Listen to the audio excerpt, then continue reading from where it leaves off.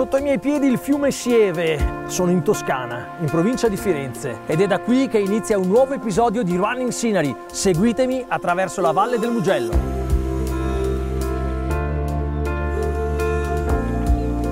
La pista ecoturistica del fiume Sieve è un percorso facile, adatto alle biciclette, alle mountain bike, alle passeggiate e al running. L'infrastruttura è stata finanziata con fondi europei in collaborazione con l'Unione dei Comuni del Mugello e con un accesso facilitato anche per le carrozzine continuiamo il nostro percorso.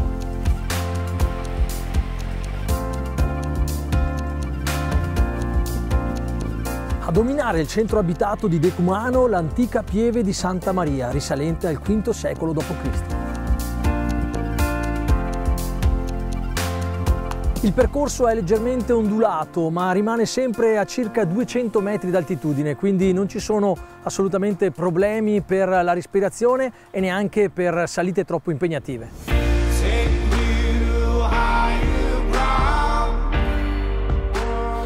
Sono a circa 9 km del mio percorso, questo alle mie spalle è Ponte Avicchio risalente al 1295.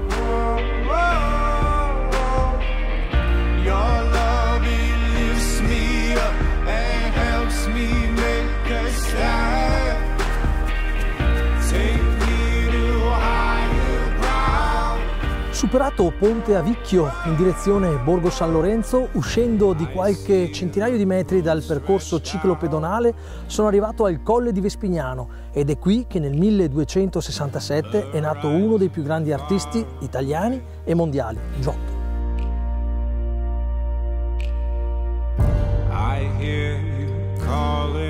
Borgo San Lorenzo, con i suoi 18.000 abitanti, è il centro abitato più importante del Mugello.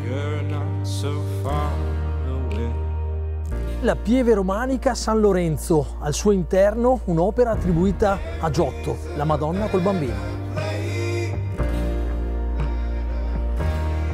Il tragitto è immerso nel verde e lungo il percorso si possono trovare aree di sosta, panchine e punti panoramici, quindi diventa un'opportunità unica per svolgere attività sportiva e passeggiate immersi nella natura, lontani dal traffico.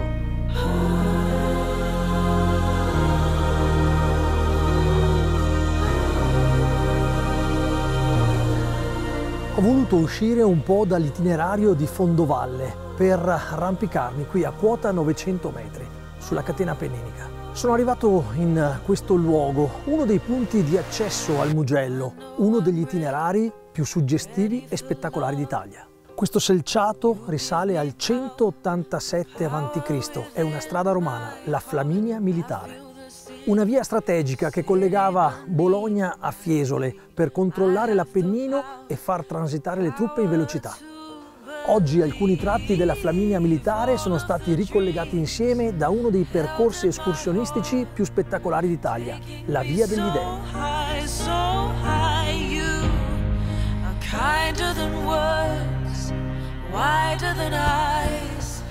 Sono arrivato in località San Piero a Sieve, per un runner correre in un luogo come questo diventa veramente importante anche sotto l'aspetto tecnico. Oltre che a svolgere i nostri lavori aerobici e quindi quelli dei chilometri, dei lunghi, potremo anche fare dei lavori di variazione o addirittura delle ripetute. Misurando alcuni tratti del percorso o avvalendoci dei moderni smartwatch potremo correre sapendo quanti chilometri facciamo e a che velocità quindi una pista ciclabile può diventare una vera e propria pista di atletica leggera.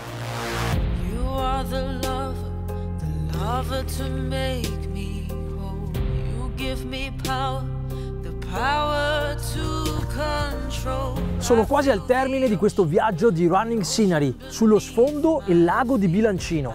Lungo il suo corso il fiume Sieve viene sbarrato da una diga artificiale, così si crea questo invaso d'acqua.